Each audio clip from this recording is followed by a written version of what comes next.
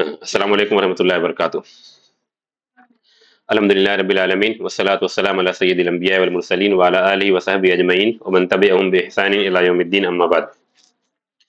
أعوذ بالله من الشيطان الرجيم بسم الله الرحمن الرحيم. الذي خلق سبع سماوات طباقا ما ترى في خلق الرحمن من تفاوت؟ فرج البصر. هل ترى من فطور؟ آیت کا پہلے آسان سا ترجمہ۔ اور اللہ ہی کی قدرت اور اس کی ملکیت کے متعدد مظاہر بیان کیے جا رہے ہیں۔ آیت نمبر تین ہے الذي جس نے یا جو خالقہ پیدا کیا، سبع سماوات، سات ساتوں آسمان کو طباقن تہبت جس نے، جس اللہ نے ساتوں آسمان کو تہبتہ پیدا کیا، ایک کے اوپر دوسرے کو پیدا کیا، یا ایک کے مطابق دوسرے کو پیدا کیا۔ ما ترا، نہیں دیکھو گے تم۔ فی خلق الرحمن، رحمان کی پیدائش میں، یا رحمان کی بناوٹ میں، یا رحمان کی کاریگری میں۔ من تفاوت، کوئی فرق، کوئی اختلاف، کوئی خلل، کوئی ڈیفرنس فرج البصر، پھر نگاہ کو لوٹاؤ۔ حل ترا من فطور، کیا تم دیکھتے ہو؟ کوئی شغاف، کوئی خلل، کوئی درار، کوئی سوراخ، کوئی ہول کیا آسان ترجمہ؟ ابھی لفظ پر آتے ہیں، جو آپ بولتے ہیں کہ نوی اعتبار سے تھوڑا سا آسانی ہو جائے۔ الزی آپ جواب دیتے رہیں گے، بہتر رہے گا۔ الزی نہیں، کیا ہے الزی نہیں، ابھی ترجمہ میں نے کر دیا، لفظ لفظ، نوی اعتبار سے۔ کیا ہے الزی اس میں کون سا؟ موصول۔ خلقا فیل یعنی فیل کون سا فیل ماضی۔ اس سے پہلے ایک آیت بتایا تھا آپ لوگ جس میں ماضی اور مظاہرے دونوں آئے سورہ نور کی آیت کس کو دیر میں بتائیے؟ سورہ؟ نور کی آیت بتایا تھا اس سے پہلے والی آیت میں کہ ایک ہی آیت میں ماضی اور مظاہرے دونوں آیا۔ ہاں خالہ کا یخلق ایک ہی آیت میں سورہ نور کی آیت تھی جس میں مختلف جانوروں کا۔ ہاں سورہ یاسین میں تینوں چیزیں۔ لیکن سورہ نور کی آیت بتا ہاں بولیے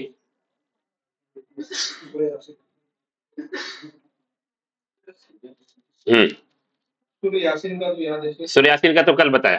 سورہ نور کی آیت میں بتایا تھا جس میں متعدد مخلوقات کا تذکرہ ہے کہ بعض اللہ نے سب کو ماں سے پیدا کیا بعض لوگ دو پیروں پر چلتے ہیں بعض لوگ پیٹ کے بل چلتے ہیں بعض لوگ چار پر چلتے ہیں۔ ہاں۔ اس میں ماضی مدارے دونوں ہیں۔ لفظ اصل چاہیے لفظ۔ نمبر جب ہم آیت بتاتے تو نہیں ہے۔ نمبر اس لیے بتایا جاتا کہ آپ اس آیت پر پہنچ سکیں اور لفظ کو دیکھ کر غور سکیں۔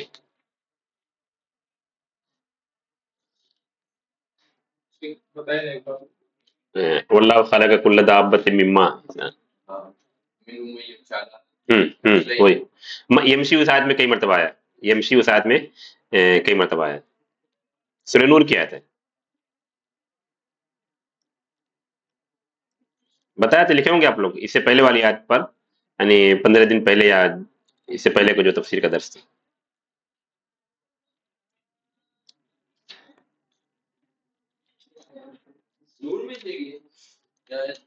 ہاں نور میں نور میں پکا آج نمبر فورٹی فائیو قرآن پہ ڈائریکٹ یاد کرنے کا دیکھو موبائل کا بھی اپنا فائدہ۔ قرآن پہ آپ کو آیت یاد رہتی کہاں پر کس طرف ہے۔ رائٹ لیفٹ اوپر نیچے۔ ملی آیت نمبر فورٹی فائیو ملی ابھی دیکھیے ماضی اور مدارے بتائے پوری آیت کے بجائے صرف ماضی مدارے کو بتائیے اس میں سورہ نور کی آیت میں۔ واللہ خلق کل دابت یہاں پر خلق ہے۔ مدارے کہاں پر آ رہا ہے؟ یخلق اللہ ما یشا یخلق اللہ ما یشا یہ سورہ نور کی آیت ہوئی۔ باقی کل کے درس میں جب ہم اللہ تبارک و تعالیٰ مردوں کو دوبارہ زندہ کرے گا، سورہ یاسین کی اخیر کی آیت جس میں بتایا تھا کہ اس میں اور ایک چیز کا اضافہ ہو، ماضی بھی مدارے بھی اور خلقہ کا سیغ مبالغہ بھی۔ ہاں اس میں مبالغہ، سیغ مبالغہ دونوں کہہ سکتے ہیں۔ آیت نمبر ایٹی ون۔ خلق السماوات والارض بقادر على ان يخلق مثلهم بلا وهو الخلاق العليم ماضی بھی مضارع بھی اور اس سے صيغه مبالغہ بھی تو اللہ کے خلقت کو اللہ کے خالق ہونے کو بیان کرنے کے لیے آیت بڑی جامع تین وجوہات سے ثابت کیا گیا ماضی مضارع اور صيغه مبالغہ سبع سماوات ہاں یہ ترکیب میں خلقہ کا مفعول ہے سبا سماواتن مجرور کیوں ہے؟ مضاف مضافل ہے اس سے بڑی چیز یہ ہے کہ یہ عدد ہے نمبر ہے۔ سلاسہ سے اشرا تک تین سے دس تک کی جو تمیز ہوتی ہے وہ کیا ہوتی ہے؟ یہ تصویر تاریخ کے اعتبار سے میں اعراب کو کسی بات کر رہا ہوں۔ جمع مجرو جمع ہوتی ہے اور مجرو ہوتی ہے۔ کہاں سے کہاں تک؟ سلاسہ سے اشرا تک تین سے دس تک کی تمیز جمع مجرور ہوتی تھی تین سے دس تک میں سبا آیا کہ نہیں آیا سماواتل کیوں مجرور ہے سبا کی تمیز جمع اور مجرور ہوگی جمع اور مجرور ہوگی ہاں وہ قاعدہ آپ یاد رکھ لیں کہاں سے کہاں تک سراسا سے اشرا تک خلقہ فیل سبا اس کا مفول ہے اس کی وجہ سے منصوب ہے اور پھر ترکیب میں سبا مضاف، سماوات مضافل ہے اچھا ابھی اس کے لیے ایک بہت جامع آیت مجھے جو لگتی ہے، عدد ماد، یہ جمع مجرور کے لیے، سورہ معاہدہ کیا نمبر ایٹی نائن۔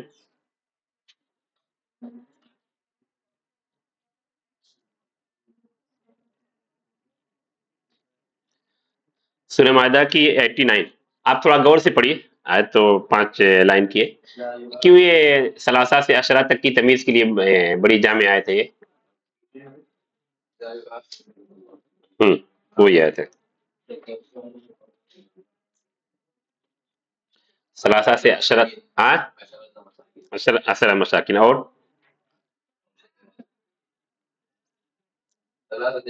ہوں اطعام عشرة مساكين أوسط ما تطعمون كسوتكم كسوتهم تحرير ومن لم يجد فصيام بس اتنا ہی۔ مان لے شاید اس کے نئے صحیح تک۔ تو یہ جامع آیت کیوں ہے؟ اس کے لیے اسے جمع مجرور والی تمیز کو سمجھنے کے لیے۔ دو دو ایگزامپل دو ایگزامپل کون کون؟ دو ایگزامپل اور دونوں ایگزامپل بارڈر والی ہے۔ اسٹارٹنگ کی اور لاسٹ کی۔ سلاست ایام سلاسہ سے مطلب سلاسہ سے اشرا تک۔ سلاسہ شروع اور لاسٹ کیا ہے؟ اشرا دونوں مثال مل گئی ساتھ میں۔ تو یہ آیت اسنائی سے بڑی جامع یعنی دونوں شروع کی اور اخیر کی دونوں مثالیں مل گئی سلاست ایام اور اشرت مساکین۔ واضح؟ سورہ معاہدہ آیت نمبر ایٹی نائن اور پارے کے اعتبار سے ساتویں پارے کے پہلا پیج۔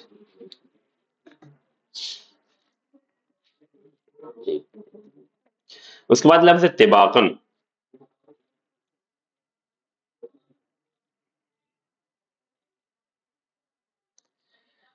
تباقن یہ کیوں منصوب ہے؟ اس کے بارے میں مفسری کے دو رائے ملتی ہے ایک تو یہ کہ سبا کا کیا ہوگا؟ سبا کا صفت۔ سبا سے صفت واقع ہوگا۔ یا بعض مفسرین نے حال کہا ہے۔ ابھی معنی نہیں بتا رہا ہوں معنی بات تو استباقن کے منصوب ہونے کی ایک تو بتا کہ سبا سے صفت واقع۔ دوسری وجہ کی حال واقع۔ اس کے بعد ماں تارا۔ ماں تارا میں ماں کیسا ہے؟ نافیہ ناہیا نہیں نافیہ۔ دونوں فرق ہے۔ نفی میں کیا ہوتا ہے؟ نہیں، نفی میں خبر ہوتی ہے۔ نفی میں، اور نہ ہی میں کیا ہوتی ہے؟ نہ کرنے کا آرڈر ہوتا ہے۔ دونوں فرق ہے ماں یہاں پر نافیہ ہے۔ ترا فیل کون سا فیل ہے؟ ترا۔ ہاں فیل مدارے ماضی کیا اس کا؟ را را متعدد مرتبہ استعمال ہے۔ خاص طور پر سورہ نام میں ابراہیم علیہ السلام کہ وہ چاند اور سورج کو دیکھنے کا تذکرہ فلم مارا القمر بازغن فلم مارا شمسا بازغتن فی کیا ہے؟ حرف جار۔ خلق نہیں۔ خلق اس میں یا کہیں کہ مصدر ہے۔ خلقہ جو فعل ماضی تھا، اسی سے یہ مصدر ہے۔ الرحمن صیغہ مبالغہ۔ مضافلہ ہونے کی وجہ سے مجرور ہے۔ یہاں پر خلقی الرحمن۔ خلق پر کسرہ کیوں یا خلق کیوں مجرور ہے؟ حرف الرحمن کیوں مجرور ہے مضافلہ کے لیے من تفاوت۔ من یہاں پر زائدہ ہے۔ من کے بارے میں شاید بتایا تھا کسی درس میں کہ من کی متعدد شکلیں ہوتی ہیں۔ من زائدہ بھی ہوتا ہے۔ یہاں من زائدہ ہے۔ کوئی عمل نہیں کوئی معنی نہیں اس کا۔ عمل کر رہا ہے لیکن کوئی معنی نہیں اس کا۔ من و ابتداء غائد کے لیے بھی آتا جیسے سورہ بری اسرائیل کی پہلی آیت، من المسجد الحرام۔ المسجد الاقصى اور کبھی تبیز کے لیے ہوتا ہے۔ تبیز کا مطلب بعض لوگ، سارے لوگ نہیں سم آف دا پیپل منافقین کے بارے میں، ومن الناس من یقول آمن سورہ بقرہ کے شروع میں، ومن الناس من یقول آمنا۔ بعض لوگ ان میں سے جو ایسے کہتے ہیں، منافقین۔ یا کنتم خیر امہ والی جو آیت ہے کیا نام ہے، سورہ علی عمران کی۔ اس میں، منہم المؤمنون تو منہم کا معنی کیا ہوگا؟ بعضهم کیونکہ اکثر کیا کہا رہا ہے تو منہم کا کیا معنی ہوگا؟ تو یہ تمیزیہ ہوا ایک معنی ہوتا بیانیہ. اس کی جو عام مثال مفسرین بیان کرتے فجتنب الرجس من الاوسان فجتنب الرجس من الاوسان اور یہ زائدہ. زائدہ ما ترافی خلق الرحمن من تفاوت. اور یہ زائدہ جو ہوتا ہے نفی اور نہیں یا سوال کے سیاق میں ہوتا ہے. نف یا نہیں یا سوال کے سیاق میں ہوتا ہے۔ ما ترا یہاں پر نہیں، نفی کے سیاق میں۔ تفاوت؟ نفی نہیں اور سوال۔ تو دو چیز یہاں پر ہو جا رہی۔ من تفاوت کس کے سیاق میں ہے؟ نفی کے سیاق میں۔ اچھا۔ آگے پھر سوال والا بھی فرج البصر۔ فرج کون، کیا فعل ہے؟ ہاں امر۔ البصر مفعول بھی حل ترا حل ادات استفام ترا اوپر بتایا گیا فعل مضارع۔ من زائدہ جس طرح من تفاوت۔ فطور عمل کر رہا ہے من لیکن اس کا کوئی معنی نہیں ہے۔ تو یہ حل ترا من فطور یہ کس کے سیاق میں ہے؟ زائدہ من؟ نہیں۔ حل کے سیاق میں یعنی استفام من زائدہ میں بتایا کہ وہ نفی کے سیاق میں یا استفام کے سیاق میں یا نہیں کے سیاق میں۔ ٹھیک ہے؟ تو نفی کے سیاق میں ما طرفی خلق الرحمن من تفاوت استفام کے سیاق میں حل ترا من فطور یہ لفظی بحث ہو گئی۔ ہاں۔ حل استفام کوشچن کے لیے جو ادات استفام ادات ادات استفام کوشچن کے لیے جو الفاظ آتے۔ ابھی الفاظ پر آتے۔ معنی پر۔ یہ لفظ سے متعلق جو چیزیں تھیں۔ خلقہ کا معنی اس سے پہلے بتایا جا سبا سماوات۔ سماوات پہلی مرتبہ رہا ہے۔ پہلی مناسبت دیکھتے۔ اس سے پہلے کی آیت میں آیت نمبر دو میں کیا کس چیز کا تذکرہ تھا؟ تخلیق کا ہی تذکرہ تھا۔ لیکن ابھی آیت نمبر تین اور اس کے بعد کی چیزوں میں کن چیزوں کا تذکرہ ہو رہا ہے؟ کس چیز کی کاریگری؟ کس چیز کی خلقت سما اس کے بعد بھی تھوڑا دیکھیے۔ یعنی اس کے بعد کی بھی آیت ہے۔ ہوں اس کے بعد اس کے بعد۔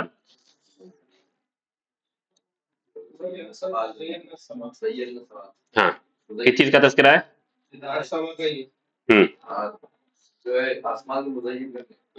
تو ابھی آیت نمبر تین سے عالم بالا کا تذکرہ ہو رہا ہے۔ اوپر کی دنیا کا تذکرہ ہو رہا ہے۔ ابھی یہاں تک الموت والحیات یا انسانوں کے بارے میں بتایا کہ اللہ نے تم کو پیدا کیا اس کے لیے۔ ابھی اوپر کی مخلوق کا تذکرہ، عالم بالا کا تذکرہ ہو رہا ہے۔ عالم علوی کا تذکرہ ہو رہا ہے۔ جو تقریباً چلتا رہے گا، آیت نمبر بارہ تک آپ کہہ سکتے ہیں۔ تحدیداً آیت نمبر گیارہ تک۔ کیونکہ آسمان کا تذکرہ ہے، اس کے بعد جہنم کا تذکرہ ہے۔ آسمان کا تذکرہ ہے، اس کے بعد جہنم کا تذکرہ ہے۔ جو دونوں علوی مخلوق ہیں، عالم بالا میں اور پھر اس کا تذکرہ آسمان کا تذکرہ پھر آئے گا۔ آگے چل کر آیت نمبر پندرہ اور سولہ میں۔ آیت نمبر پندرہ، نہیں نہیں، آیت نمبر سولہ اور سترہ میں۔ آیت نمبر سولہ اور سترہ میں۔ تو مناسبت کیا ہوئی؟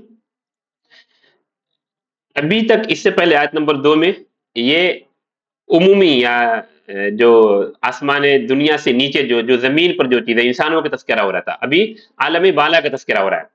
آسمان آسمان کا استحکام، آسمان کی مضبوطی اس کا تذکرہ، آسمان کو اللہ نے محفوظ کیا شیطانوں سے، جنوں سے، اس کا تذکرہ۔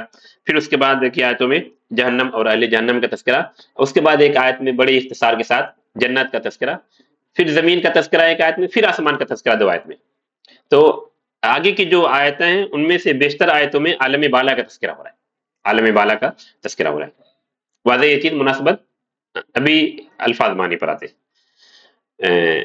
چونکہ پہلی مطلب ابھی سماوات آ رہا ہے ہمارے درس میں سماوات۔ تو واحد یا جمع؟ جمع۔ مانا کیا ہے اس کا؟ آسمان۔ سماوات کا مطلب آسمان جو عمومی معنی ہے۔ اس کا مفرد کیا ہے؟ سما۔ سما۔ کا مفرد سماوات جمع ہے اس کا مفرد سما ہے۔ قرآن کی آیت ہے سورہ بقرہ۔ شروع کی آیت ہے۔ ساتھ گزرے کئی بتائے اس پر گزرے آیت نمبر انتیس۔ ہاں، جس میں سما مفرد اور سماوات جمع دونوں استعمال ہے۔ دیکھیے۔ السمائی سواہن سب سماوات۔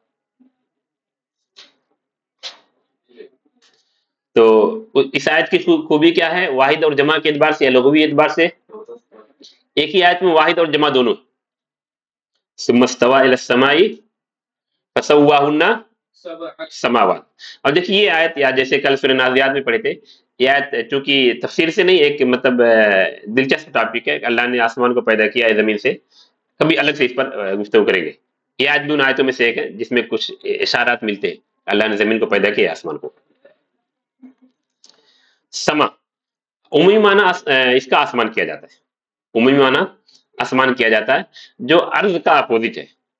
سما کا معنی میں سمجھے تمام چیزوں سے آپ کو سباب کو دیکھ کر تو کل تین معنی ہوتے ہیں۔ پہلا معنی کیا ہے؟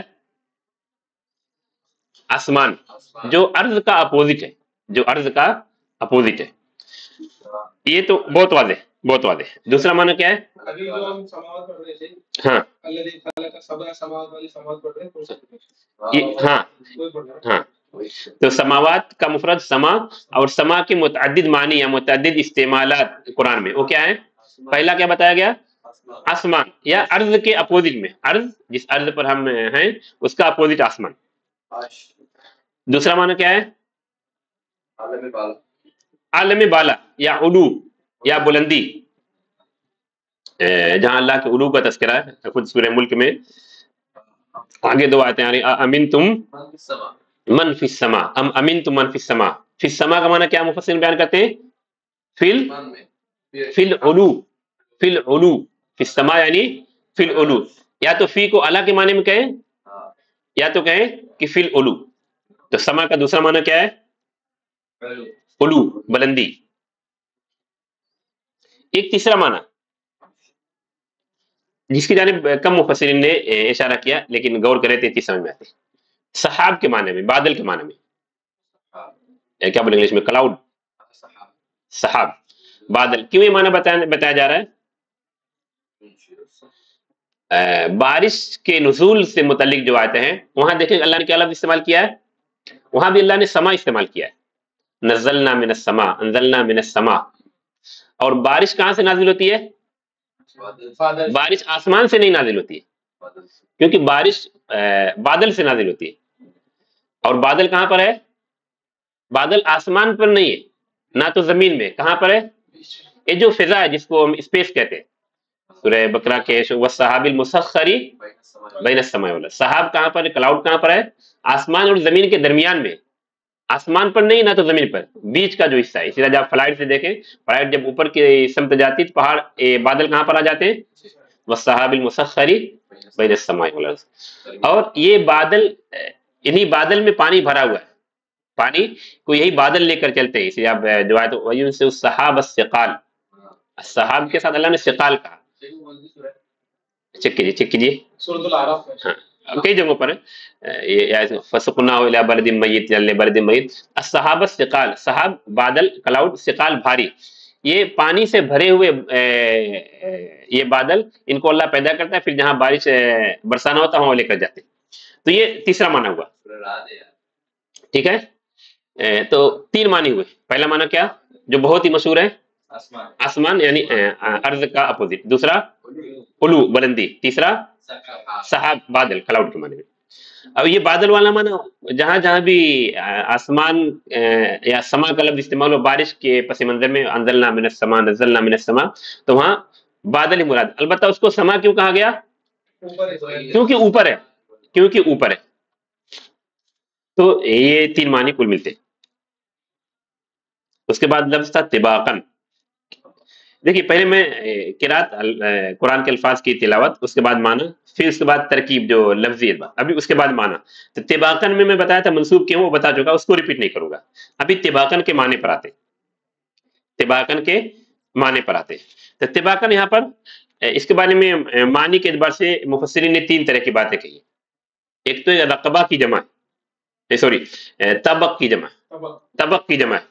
اور اس کو مثال دی ہے جس طرح جبل کی جمع جمال، جبل کی جمع جبال، اس طرح طبق کی جمع طبا نہیں نہیں نہیں نہیں۔ طبق کی جمع طبا دوسری بات کیا کہی؟ طبقہ لاسٹ میں گولتا تا مدورت طبقہ کی جمع طباق ہے۔ اس کی مثال کیا دیے جس طرح رقبہ کی جمع رقاب ہے۔ جس طرح رقبہ۔ نہیں رقبہ یہ وہ اردو والا رقبہ۔ گردن۔ تحریر رقبہ رقبتن رقبتن۔ ہاں فضرب الرقاب بات ہوگا جس کو مساکر کا ہے۔ ہاں کچھ سوال۔ رقبہ کی جمع رقاب۔ جبل کی جمع جبال کو سمجھنا ہے تو اس کے بعد آپ اس کا انجام اچھا ماں اس کے بارے میں تین باتیں بتائی پہلی بات کیا بتائی؟ کہ یہ طبق کی جمع ہے۔ طباق مثال پھر بتایا جس طرح جبل کی جمع جبال دوسری بات بتائی گئی کہ یہ طبقتن کی جمع طباق ہے جس طرح رقبتن کی جمع رقاب ہے۔ وزن سے بتانا مقصود ہے۔ تیسری بات یہ بتائی مفسرین نے کہ یہ مصدر ہے۔ باب مفعلہ کا۔ باب مفعلہ کا مصدر ایک تو مفعلہ کے وزن پر آتا ہے ایک فعال کے وزن پر آتا ہے۔ تابقہ یطابق مطابقتاً اور دوسرا مصدر طباق۔ یہ ساتھ آپ کو مشکل ہوگا لیکن آسان مثال میں بتاتا ہوں قتال۔ قتال قاتل یقاتل مقاتلتاً، مفعلہ کے وزن پر، اور دوسرا فعال، قتال۔ تو تیسری رائے جو مفسرین کی ہے، یہ مصدر ہے۔ اسے باب مفعلہ کا مصدر ہے۔ اور باب مفعلہ کا مصدر دو وزن پر آتا ہے۔ مفعلت کے وزن پر اور فعال کے وزن پر۔ جس طرح قتال ہے، جس طرح جہاد ہے، ٹھیک ہے؟ تو سب سماوات طباقہ سات آسمان تہبت ایک کے اوپر دوسرا۔ ایک تو یہ مانا ہوا۔ دوسرا مانا ایک دوسرے کے مطابق۔ یعنی جس طرح پہلا ہے، جتنا لمبا چوڑا پہلا ہے، اتنا ہی لمبا چوڑا دوسرا، اتنا تیسرا بھی ہے۔ ایک دوسرے کے مطابق ہے۔ ایک دوسرے کے مطابق ہے، تطابق ہے، موافقت ہے، دونوں میں اختلاف نہیں ہے۔ دونوں میں کوئی تفاوت نہیں۔ اس لیے اگلی آیت میں کیا آگے کیا ہے؟ ما طرفی خلق رحمان من تفاوت۔ آسمانوں میں، ساتوں آسمانوں میں تطابق ہے، موافقت ہے، اتفاق ہے۔ یا سملارٹی کیا کہہ سکتے ہو لفظ؟ اختلاف نہیں ہے۔ تطابق ہے، توافق ہے، تفاوت نہیں ہے۔ جس کے لیے ماترا فی خلق رحمان میں تفاوت۔ سمجھ میں آیا؟ تو البتہ اتباع کے بارے میں یہ دو باتیں یہ تہبتہ ایک کے اوپر ایک۔ یا کہ دونوں ایک دوسرے کے مطابق تہبتہ میں دو چیزیں ہو سکتی ہیں، دو احتمال ہیں، لیکن ایک ہی احتمال راجے ہے۔ دیکھیے، ابھی میری چاروں انگلیوں کو دیکھیے۔ یہ چاروں انگلیاں تہبتہ ہیں۔ ہے کہ نہیں؟ یہ ایک احتمال یہ، ایک یہ احتمال ہے۔ تو یہ والا احتمال یا یہ والا؟ ابھی دونوں ملا ہوا یا ایسا؟ یہ۔ یا جیسے یہ یہ بک ہے۔ یہ بھی اس کے سارے پیج ایک دوسرے کے اوپر ہے۔ اس جیسا مراد ہے یا اس جیسا جیسے کور سے اس کا تعلق ہے یہ بھی طے بتہ ہوا۔ ہاں۔ کیونکہ حدیث میں کیا بتایا گیا؟ ان ساتوں آسمانوں کے درمیان فاصلہ ہے۔ اور بعض حدیث میں پانچ سو سال کی مسافت بتائی گئی۔ جی۔ ہر آسمان کے درمیان پانچ سو سال کی مسافت بتائی گئی۔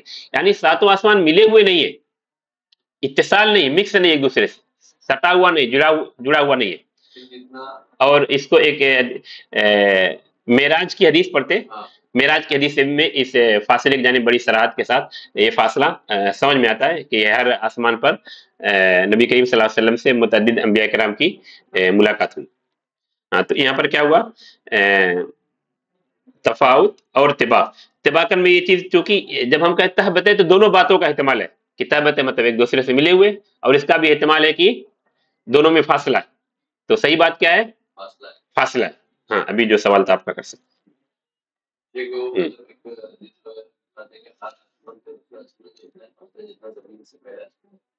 ہاں وہ اسی حدیث جس میں پانچ سو سال کی مساوت بتائی گئی اسی حدیث میں وہ بھی ہے۔ ہاں چپاکن یہاں پر کہا گیا یہ لفظ شاید استعمال ہوا آگے سورہ نو میں علم ترو کیف خلق اللہ سبع سماوات طباقہ ألم تروا كيف خلق؟ اسے پہلے ما لكم لا ترجون لله وقارا. وقد خلقكم أطوارا. ألم تروا كيف خلق الله سبع سماوات طباقا؟ تو وہاں سورہ نو میں بھی یہ لفظ یا یہ تعبیر استعمال ہوئی اس کے بعد معنی کہ ما ترى في خلق الرحمن من تفاوت. تفاوت کا معنی کیا ہے؟ فرق اختلاف یا تطابق کا اپوزٹ تطابق کا اپوزٹ یا اسی لیے تفاوت اور فطور اس کے بعد۔ آیت کا جو آخری لفظ ہے، آیت نمبر تین کا کیا ہے؟ فطور۔ تو بعد مفسرین دونوں کو ہم معنی کہتے ہیں۔ تفاوت کا جو معنی، وہی معنی فطور کا۔ اور یہاں پر بتایا تھا کہ من زائدہ ہے۔ من زائدہ ہے، جو عمل تو کرے گا، لیکن اس کا کوئی معنی نہیں ہوگا۔ لیکن اس کا کوئی معنی نہیں ہوگا۔ من زائدہ کو آپ کو سمجھنا ہے۔ تو سورہ معاہدہ کی آیت نمبر انیس پر آئیے۔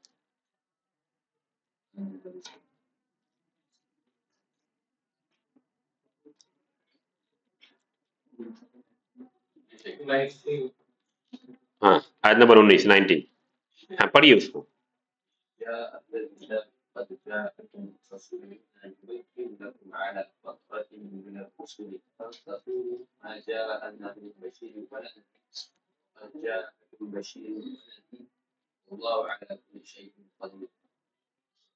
کیا سمجھ میں آپ کو دیکھیے من زائدہ کہیں پر ہے من بشیری ولا ندی کہاں پر زائدہ یہی زائدہ ہے نا؟ ہاں. من زائدہ ہے یعنی اس کا کوئی معنی نہیں لیکن عمل کر رہا ہے. ٹھیک ہے؟ لیکن یعنی جا کا فائل کیا ہے؟ بشیر. لیکن من زائدہ وہ عمل کر رہا ہے اس لیے بشیرن ہوا. لیکن حقیقت میں فائل کیا ہے؟ اس لیے محلن و مرفوع ہے. لفظ محلن لیکن محلن کیا ہے۔ اس کے بعد والی آیت نے کہ اس کے بعد والی تعبیر یا اس کے بعد والا کلمہ اس کی تشریح کر رہا ہے۔ فقط جاءکم بشیر و نذیر۔ ما جاءنا من بشیر ولا نذیر۔ پھر کہا فقط جاءکم بشیر و نذیر۔ من بشیر ولا نذیر۔ یہاں پر پھر بغیر من کے کہا فقط جاءکم بشیر و نذیر۔ اور جو بتایا گیا تھا کہ نفی یا نہیں کے سیاق میں، تو یہاں پر کس سیاق میں؟ ما جاءنا من بشیر ولا نذیر۔ ما نفیہ تو من جو زائدہ ہے وہ عموماً نفی اور نہیں کے سیاق میں یا استفام کے سیاق میں تو واضح یہاں پر۔ اس آیت کو بتانے کا مقصد یہ تھا کہ دیکھیں یہاں پر من زائدہ ہے جس کی وجہ سے یہاں پر عمل کیا ہے۔ پھر اس کے بعد بشیر و نذیر یہاں پر مرفوع ہے کیونکہ من زائدہ نہیں ہے۔ تو یہاں پر جو اعرابی حیثیت ہوگی من تفاوت یا من فطور تو اعرابی اعتبار سے لفظن تو مجرور ہے لیکن محلن کیا ہے؟ کس محل میں ہے؟ یہاں پر ابھی آیت نمبر نہیں۔ جو آیت ہم پڑھے، سورہ ملک کی آیت نمبر تین۔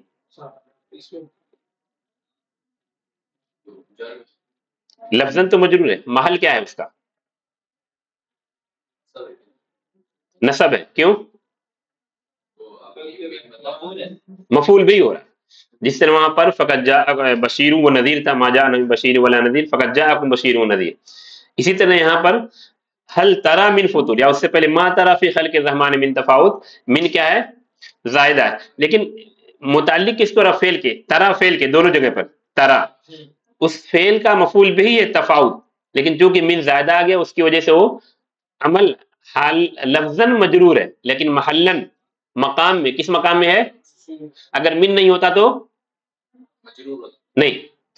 من ہے تو مجرور ہے من نہیں ہوتا تو؟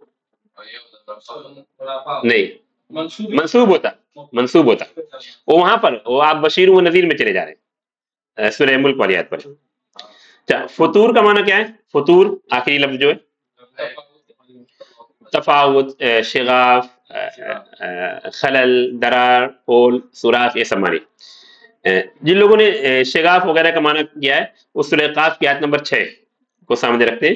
افلم ينظروا الى السماء فوقهم كيف بنيناها وزيناها۔ وما لها من فروج۔ کبھی کبھی آپ مفسرین کی تفسیر، خاص طور پر لغوی چیزیں دیکھیں گے، تو اس کی جو تفسیر کرتے ہیں، وہ تقریبی تفسیر کرتے ہیں۔ تقریبی، اس لفظ کا جو قریبی مفہوم ہوتا ہے، جو قریبی معنی ہوتا ہے، تو یہاں پر فطور کا معنی بعض مفسرین نے فروج بتایا، شغاف، خلل، اور سرقاف کی آیت کو سامنے رکھا ہے۔ ما لها من فروج۔ ہاں ابھی فوائد پر آتے ہیں۔ اب کسی کا کوئی سوال ہے تو کر سکتے ہیں، پھر فوائد۔ کچھ ہے، سوال ہے کسی کا؟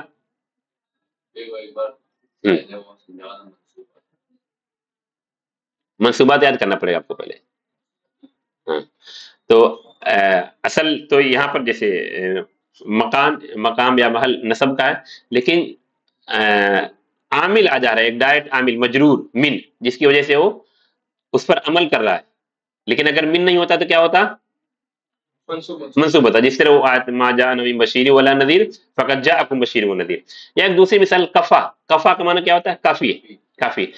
کفا جب ماضی استعمال ہوا ہے پورے قرآن میں با کے ساتھ استعمال ہوا ہے۔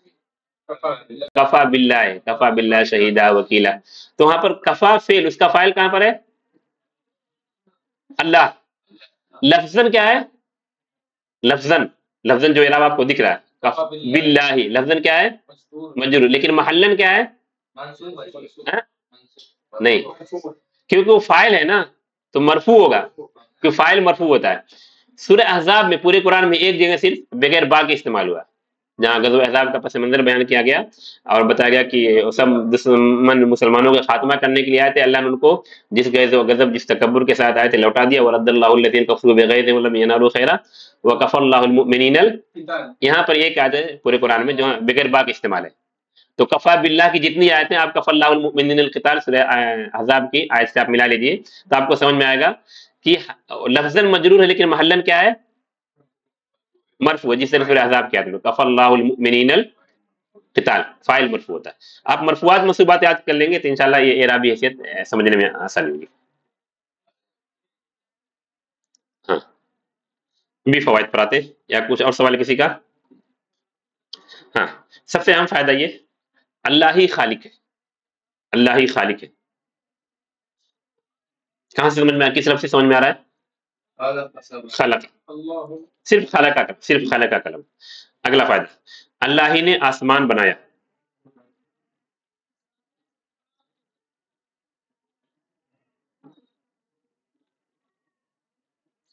آسمان کل سات ہیں اگلا فائدہ.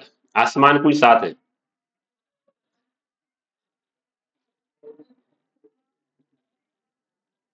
ہاں یہ کس لفظ سے سمجھ میں آ رہا ہے؟ سبا اچھا۔ آسمان تہ بتائیں، ایک کے اوپر ایک تباقہ کے لفظ سے۔ اگلا فائدہ۔ ہر دو آسمان کے درمیان فاصلہ۔ ہر دو آسمان کے درمیان فاصلہ۔ اور بعض حدیث میں اس کی مقدار کتنی بتائی گئی ہے؟ پانچ سو سال کی مسافت۔ تقریباً شرح میں چیز آ گئی، لیکن فائدے میں جب آپ پوائنٹ کی شکل میں لکھ لیتے ہیں، تو سمجھنے میں آسانی ایک اہم چیز جو یہاں نہیں بتائی گئی، اللہ نے آسمانوں کو بغیر نہیں، بغیر بغیر پلر، بغیر ستون، بغیر کھمبے کے پیدا کیا۔ سورہ لقمان کے آیت میں، بغیر امدن ترونا بغیر امدن ترونا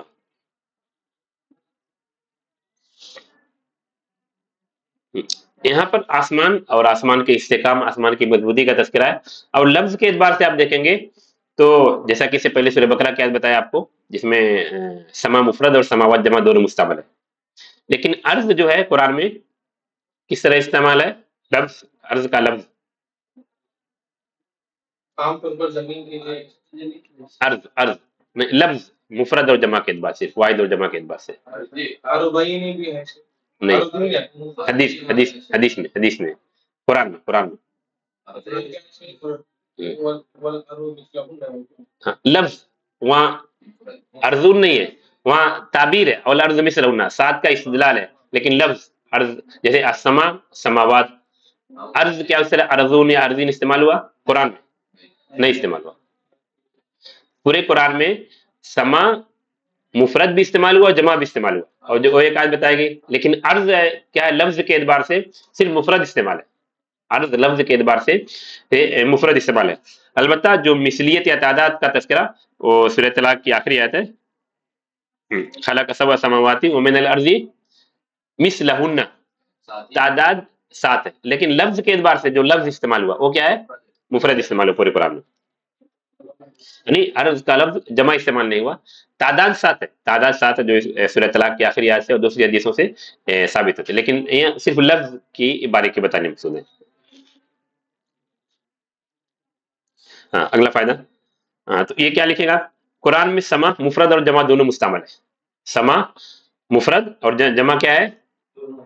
سماوات، دونوں مستعمل ہے اس کے برخلاف عرض عرض صرف مفرد استعمال ہے۔ اگلا فائدہ۔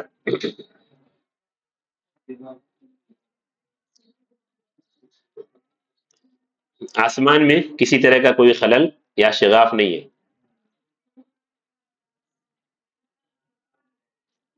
ہاں، کسی طرح کا کوئی خلل یا شغاف یا ہول نہیں ہے۔ جس دن اس میں کوئی خلل ہوگا کوئی شغاف ہوگا کوئی ہول ہوگا دنیا ختم ہو جائے گی۔ سورہ انشقاق کی آیت میں سورہ اذا شقت اذا فطرت ہاں کچھ بول لیتے آپ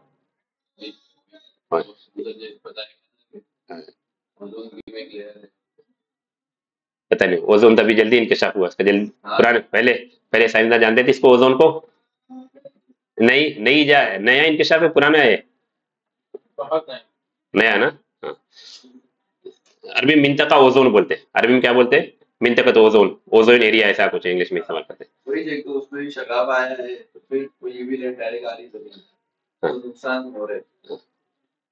نقصان ہونے کی تمہید۔ چلیے۔ ایک چیز دیکھیے ہمیشہ اس چیز کی جانب۔ جیسے میں بولوں، میں آسمان کو دیکھ رہا ہوں، میں زمین کو دیکھ رہا ہوں، یہ ایک تعبیر ہے۔ آسمان بہت مزین ہے، یہ بھی غلط نہیں۔ لیکن یہ عموماً سائنس یا جو اس طرح علم، علوم کو پڑھتے لیکن ہم کو مسلمان ہونے کے ناطے کیا تعبیر ہم کو استعمال کرنا چاہیے۔ اللہ کا بنایا ہوا آسمان، اللہ کی بنائی ہوئی زمین۔ بارش ہو رہی ہے۔ یہ یہی تعبیر لوگ استعمال کر رہے ہیں۔ یہ نہیں لوگ بول پاتے ہیں کہ اللہ بارش برسا رہا ہے۔ اس لیے دعاؤں کو دیکھے تو وہ ایک تعلق جوڑا گیا۔ اللہ اللہ برسا رہا ہے۔ اللہ سے بارش مانگی جا رہی ہے۔ بارش نہیں ہو رہی تو اللہ سے بارش مانگی ہے۔ بارش ہو گئی پھر دعا کی۔ اللہ کے فضل و کرم سے بارش ہوئی۔ زیادہ بارش ہو رہی تو بھی اللہ سے دعا کی جا رہی ہے۔ اللہ حوالین والا تو چیزوں کو اللہ سے جوڑا گیا کیونکہ اللہ خالق ہے اور وہی مسبب الاسباب ہے۔ جو طبعی طور پر پڑھتے ہیں چیزوں کو اور اللہ کو نہیں مانتے یا بہت سے مسلم بھی ہیں، وہ اس چیز کو اس طرح نہیں بیان کر پاتے۔ حالانکہ صحیح تعبیر اس طرح ہونی چاہیے۔ صحیح تعبیر اس طرح ہونی چاہیے۔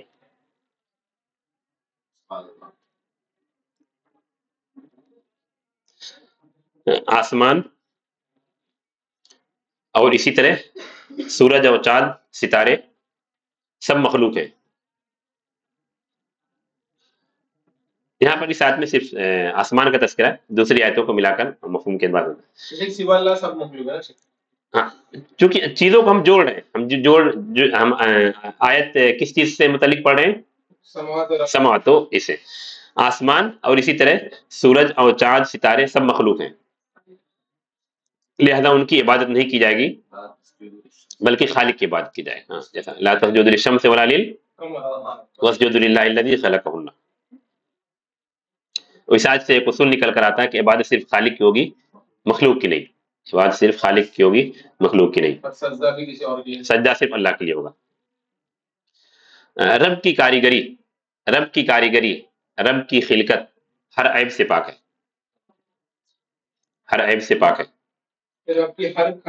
رب کی خلقت رب کی کاریگری رب کی بناوٹ ہر عیب سے پاک ہے۔ سنا اللہ الذي اتقن كل شيء۔ هذا خلق الله. فاروني ماذا خلق الذين من دوني.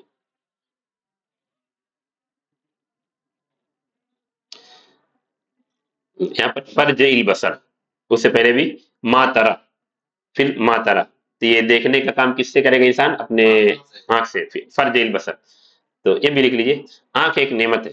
آنکھ ایک نعمت ہے. اس کو رب کی شکر گزاری اور اس کی معرفت کے لیے استعمال کرنا. آنکھ ایک نعمت ہے اس کو رب کی شکر گزاری اور اس کی معرفت کے لیے استعمال کرنا۔ ہاں آنکھ سے کس طرح رب کی معرفت حاصل ہوگی؟ اللہ کی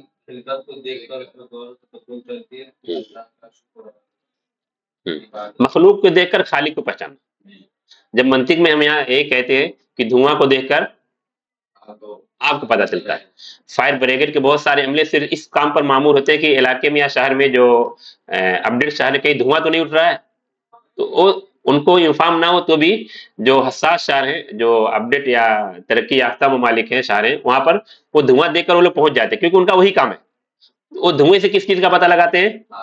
جب آپ منطق میں یا ایک خاص عملہ فائر بریگیڈ کا متعین وہ دھوئیں سے آگ کا پتہ لگاتا ہے، تو آپ مخلوق سے خالق کا پتہ نہیں لگا سکتے۔ آپ ایک چھوٹی سی موبائل خریدتے ہیں، ایک پین خریدتے ہیں، یا کسی برانڈیڈ کمپنی کی کوئی چیز خریدتے ہیں، تو آپ کوشش، اس کا بنانے والا کون ہے مجید کون ہے کریٹر کون ہے؟ تو مخلوقات کو دیکھ کر آپ اس کے خالق کا پتہ کیوں نہیں لگاتے؟ کیوں خالق کو نہیں پہچان پاتے؟ بہت دیر میں آیا۔ ہاں۔ اسی لیے مخلوقات کا بھی تذکرہ، اس میں فی ملکوت السماوات والارض اور اسی پر فی انفسکم وفی انفسکم افلا تبصرون. وفی انفسکم افلا تبصرون. آنکھ کے بارے میں ایک اہم چیز سورہ اسلام بیان کی گئی ہے. آنکھ کے بارے میں قیامت کے دن سوال کیا جائے گا. کیونکہ اگلی جو آئے تو وہاں پر فائدہ بہت کم ہوگا. بسر کے تعلق سے، دیکھنے کے تعلق سے اکثر چیزیں آج نمبر تین میں آ جا رہی آنکھ کے بارے میں قیامت کے دن سوال ہوگا. سورہ اسرا کی آیت میں اور بھی چیزوں کا تذکرہ ہے، لیکن چونکہ ہم بسر کے بارے پڑھیں تو انسم اول بسر اول کل اولائے کا کانا نو مسولہ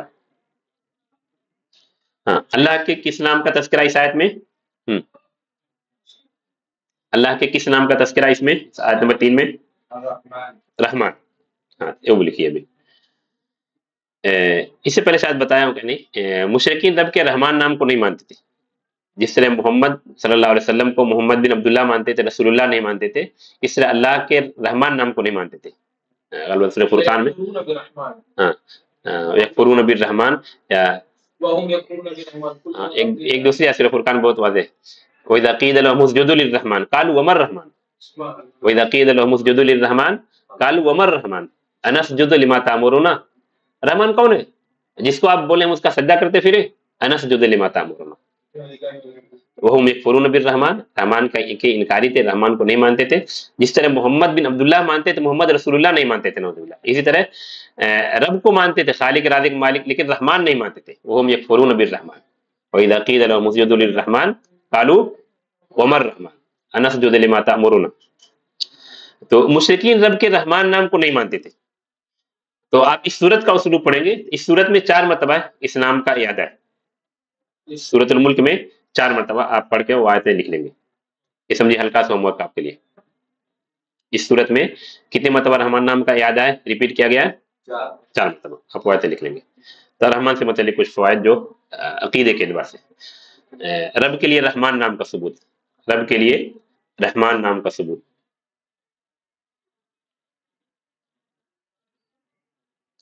اگلا جو اسی سے متفر ہوگا رب کے لیے صفت رحمت کا ثبوت۔ رب کے لیے صفت رحمت کا ثبوت۔ اپنی صفت ثابت کرنے کا طریقہ ہے۔ ایک تو ڈائر صفت سے ثابت ہو گئی، لیکن ہر اسم میں صفت موجود ہے۔ ہر اسم میں صفت موجود ہے۔ رحمان میں رحمت موجود ہے، علیم میں علم موجود ہے، غفور میں مغفرت موجود ہے، خبیر میں خبرہ موجود ہے، حکیم میں حکمت اور حکم موجود ہے۔ ہر اسم میں کوئی نہ کوئی صفت موجود ہے۔ اور صفت سپریٹ طور پر بھی ثابت کی جاتی ہے۔ تو رحمان سے کون سی صفت ثابت ہو رہی ہے؟ رحمت۔ اور متعدد آیتیں اس پر دلالت کرتی ہے ورب بکل غنی عز الرحمہ ورب بکل غفور عز الرحمہ رحمت والا ایسا نہیں صرف رحمان ہے رحمت نہیں رحمت والا بھی لفظ بھی دلالت کر رہا ہے۔ متعدد آیتیں۔ ذر رحمہ ذر رحمہ یا آدم علیہ السلام نے جو سوال کیا تھا وہاں فیل ہے۔ کیا نام ہے؟ صفت نہیں لیکن فیل سے بھی صفت ثابت کی ربنا ظلمنا انفسنا وَإِلَّمْ تَغْفِرْ لَنَا وَتَرْحَمْنَا وَتَرْحَمْنَا۔ متعدد آتے ہیں جہاں صفت کے طور پر بھی ثابت کیا گیا۔ اس، تیسرا فائدہ، رحمان نام اور اس کے صفت رحمت کا تقاضا کیا ہے؟ کہ وہ بندوں پر، وہ بندوں پر رحم کرتا ہے، وہ بندوں پر رحم کرتا ہے۔ یہ تقریباً تمام رب کے تمام نام سے یہ چیزیں ثابت ہوتی ہیں۔ اسی ترتیب سے آپ جہاں بھی آئے آپ ثابت کرنے کی کوشش کر سکتے ہاں اب ہمارا ہمارا طریقہ ہمارے جو سلم کیا ہے ہم کو رب سے رحمت کا سوال کرنا چاہیے۔ رحمت کا ارجو فلا تکنی علی نفسی آئے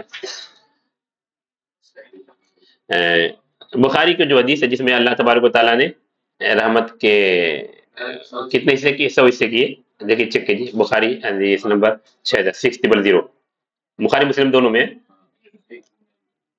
ایک حصہ دنیا میں اور باقی نائنٹی نائن اپنے پاس رکھو۔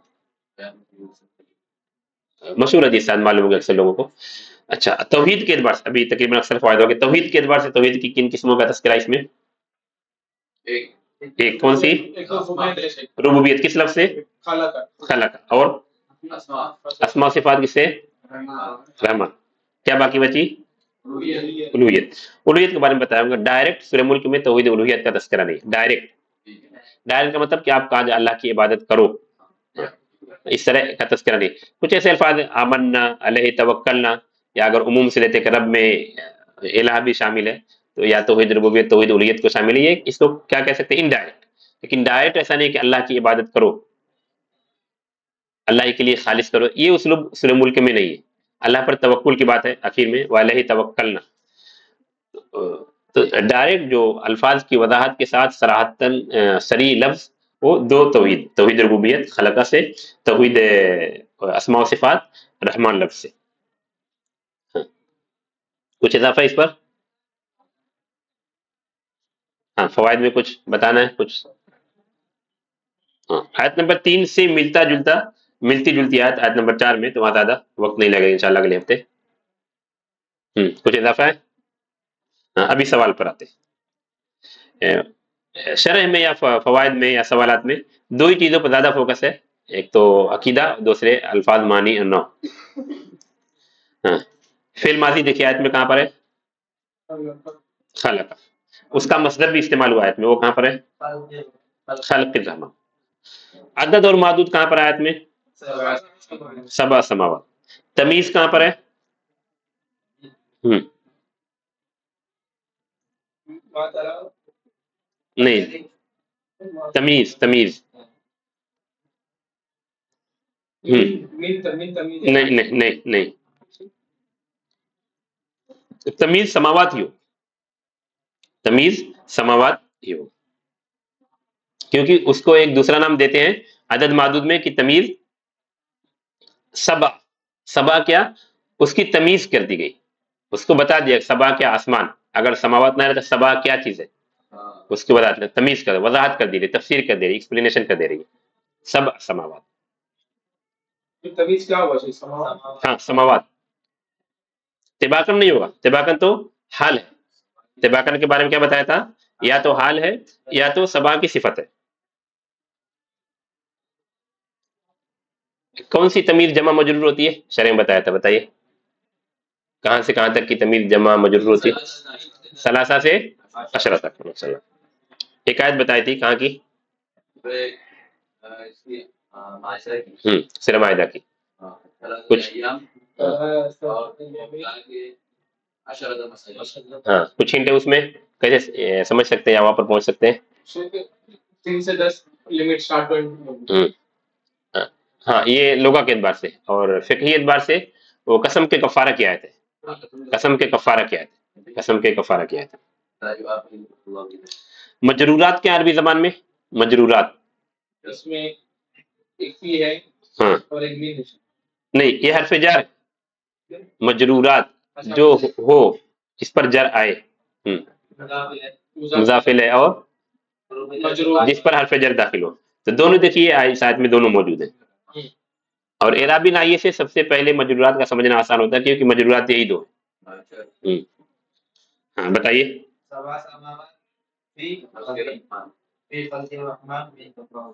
ہاں فی خلق الرحمان سب سے آسان مثال ہے۔ سب سے آسان مثال فی خلق الرحمان خلق کیوں مجرور ہے؟ فی حرف جر کی وجہ سے۔ رحمان کیوں مجرور ہے؟ ہاں۔ یہ سب سے آسان مثال میں طلبہ کو بتاتا ہوں۔ بسم اللہ۔ مضاف مضاف لے کے سمجھنے کے لیے وہ کس طرح وضاحت کیجیے با، حرف جر کی وجہ سے اس میں مجرور ہے۔ اللہ کی مجرور ہے مضافر کی وجہ سے۔ اسم اللہ۔ اسم اللہ اسم اللہ۔ اصل میں اسم اللہ۔ با حرف جر آیا تو اسم کو جر آیا اور پھر مضافل ہے اللہ مضافل اس کی وجہ سے مجرور ہوا۔ یہاں بھی خلقی رحمان بھی متعدد آیت، بہت بے شمار آتا ہے۔ لیکن آسان سب سے بسم اللہ۔ پھر مزار آیت میں ہے کہیں پر؟ ہاں۔ کتنی مرتبہ استعمال ہوا ہے؟ دو۔ فعل امر ہے؟ فرج۔ فرج۔ فرج۔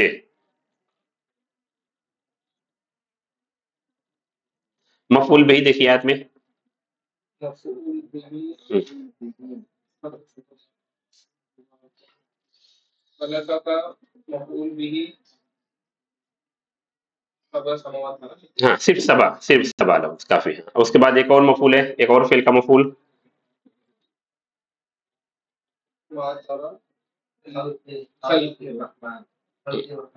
ہم، مفعول بھی منصوب ہوگا۔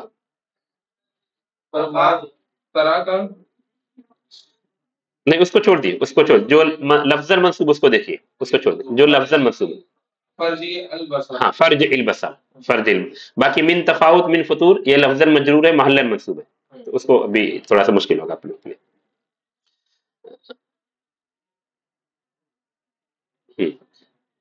ادات استفام کو یہ آیت میں استفام کے لیے کوشچن کے لیے حل۔ حل نہیں ما نافیہ ما نافیہ ما ترا نہیں دیکھو گے تم۔ حل ترا کیا دیکھ رہے ہو تم؟ آسمان کتنے ہیں؟ ہاں دلیل؟ سب سب سماوات سب سماوات۔ اس کا واحد کیا ہے؟ سماوات کا؟ ہاں مفرد سما آسمان کو دیکھ کر آسمان کے بنانے والے کو کس طرح ہم سمجھ سکتے ہیں یا کس کو سمجھا سکتے ہیں؟ کیونکہ آسمان جس نے بنا آسمان جس نے بھی آسمان بنایا اس کی خلقت میں کسی طرح کی کمی نہیں قصور نہیں شگاف نہیں۔ اتنا بڑا مخلوق ہے۔ بغیر بغیر بنا اللہ نے بنایا۔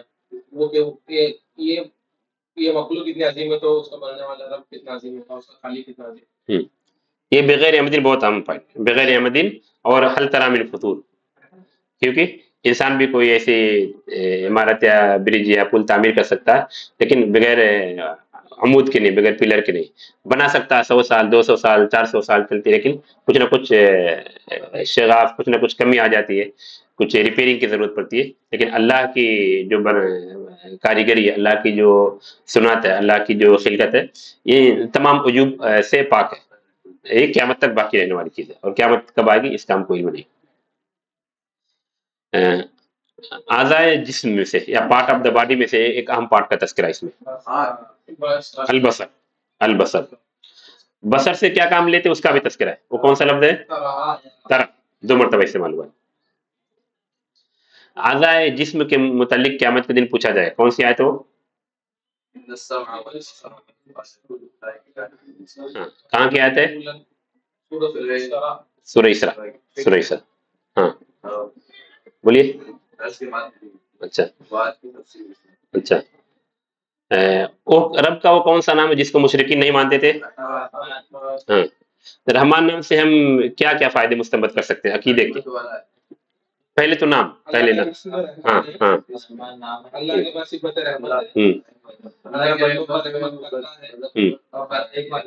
اور چوتھی چیز جو ہمارا کیا ہمارا سلوک ہمارا طریقہ ہمارا بیہیویئر کیا ہونا چاہیے اس اس صفت یا اس اسم سے متعلق۔